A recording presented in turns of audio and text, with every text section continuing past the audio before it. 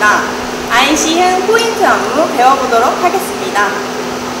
처음에는 이렇게 오른쪽, 왼쪽, 오른쪽, 왼쪽 찍으면서 뛸 거예요. 하나, 둘, 셋, 넷 뛸 거예요.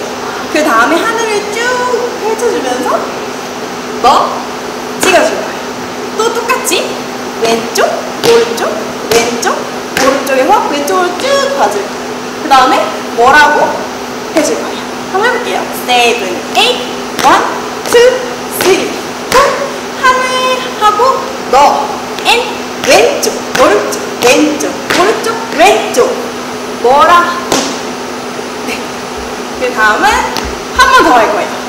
오른쪽, 왼쪽, 오른쪽, 왼쪽에서 뒤로 쟁반, 아래로 인사해서 앞으로 놓고 왼쪽, 오른쪽 해서 and 돌려서 한번 찍어줄 거예요. 하나, 둘로 찍을 거예요.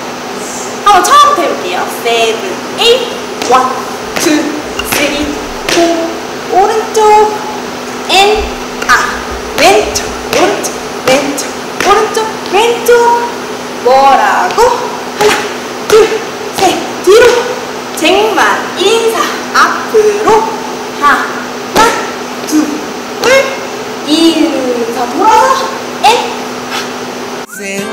여기 아세 흥흥흥흥흥 아세 흥흥흥흥흥 느껴봤세 흥흥흥흥흥 Yeah 아세 흥흥